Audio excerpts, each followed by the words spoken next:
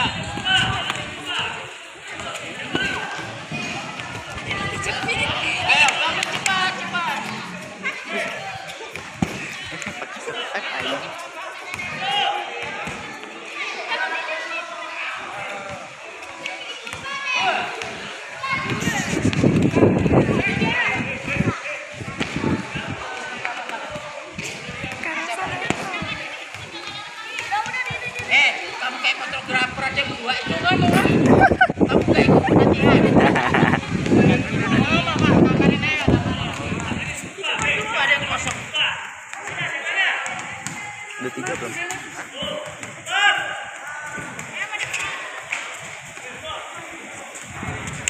ya. Mulai. Hats.